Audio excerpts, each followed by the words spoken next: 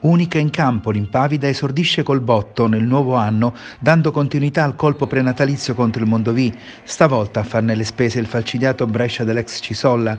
La Sieco vince, convince e riapre le porte alla speranza collocandosi a meno 5 dall'area salvezza, ma soprattutto dà segnali di netto miglioramento, ancor più sul piano mentale, grazie a una concentrazione assidua mai vista in precedenza.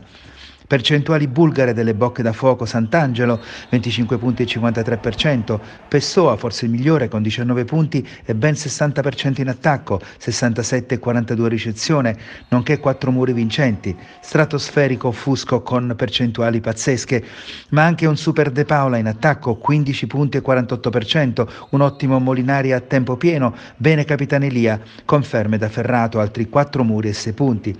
Squadra compatta quella di Nunzio Lanci con poche flessioni pagate a caro prezzo solo nella terza frazione che pareva vinta 17 a 11, 24 a 22 poi perso a 26, ma ci sta in un match stradominato e che fa pensare solo in termini positivi in prospettiva.